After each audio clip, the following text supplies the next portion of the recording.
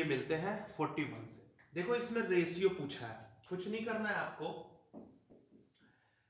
इसका स्पीड है 16 विपरीत में चलती है 16 के चाल से। और धारा के साथ चलती है वो कितने के चाल से? तो 20 के चाल से। आपको देखो दे रखा है। 20 किलोमीटर प्रति घंटा धारा के दिशा में और विरुद्ध में 16 तो जरा बताओ कि ये डाटा कितना होगा? अभी अगर बात करें तो 16 और 20 को जोड़ के या दोनों के बीच का डाटा वो है 18 इस हिसाब से धारा कितना? तो टू आपसे पूछा है S ratio C H S का वैल्यू 18 और सी एच का वैल्यू टू और इसका अनुपात बन जाएगा nine ratio one option number third हो गया जी फिनिश